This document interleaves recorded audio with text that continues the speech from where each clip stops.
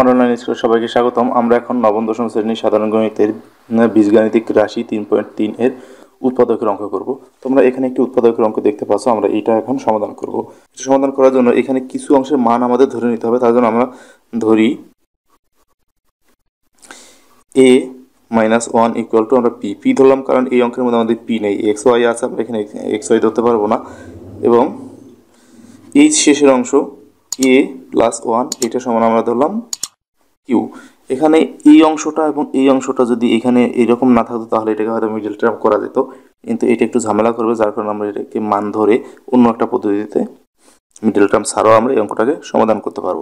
তাহলে আমরা সেইভাবে করি। এখন এই মান দুটা ধরার পরে এখন এই দুটাকে যদি আমরা গুণ করি, আমরা এখানে লিখি গুণ করে গুণ করে পাই।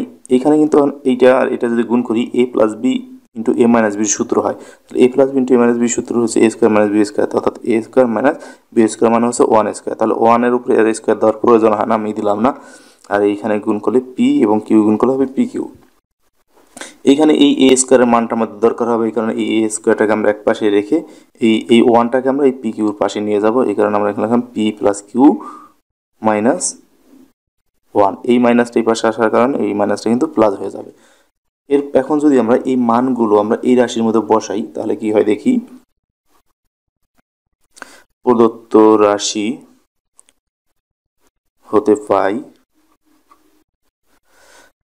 প্রথমে আমাদের এই যে এ মাইনাস ওয়ান এটার মান ধরেছিলাম পি এখানে লিখলাম পি এখানে আছে এক্স স্কোয়ার তাহলে এখানে এক্স স্কোয়ার প্লাস এখানে এ স্কোয়ারের মানায় যা এখান থেকে আমরা পেয়েছি পি কিউ প্লাস ওয়ান এটা লিখলাম, এটার সঙ্গে থাকে এক্স ওয়াই প্লাস এই অংশটার মান আমরা এই যে এখানে ধরেছি কিউ তাহলে এটার মান হবে আমাদের এখানে কিউ এখন যদি এক্স ওয়াইটাকে এই অংশের সঙ্গে আমরা গুণ করে দিই, তাহলে পি এক্স ওয়াই প্লাস এই এক্স ওয়াইটা পি কিউর সঙ্গে গুণ করা হবে পি কিউ এক্স ওয়াই এরপর এটাকে ওয়ানের সঙ্গে গুণ করা হবে X Y plus Q Y square এখন এই লাইন থেকে যদি আমরা জোড়ায় জোড়ায় কমন নিই, তাহলে প্রথমটার মধ্যে পি আছে এবং এক্স আছে।